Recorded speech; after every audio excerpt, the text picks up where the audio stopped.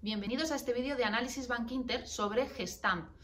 Las cifras del tercer trimestre de la compañía muestran una evolución notable, superan las estimaciones del consenso y muestran cómo los ingresos se estabilizan, los márgenes se expanden la compañía logra de nuevo generar beneficio.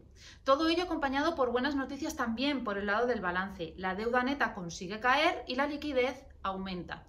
Esto nos parece un reflejo claro de que el plan de transformación lanzado por la compañía hace unos meses funciona. Entre las principales medidas que contempla el plan está un férreo control de los costes, un control también muy estricto de las inversiones y una gestión muy eficiente del circulante.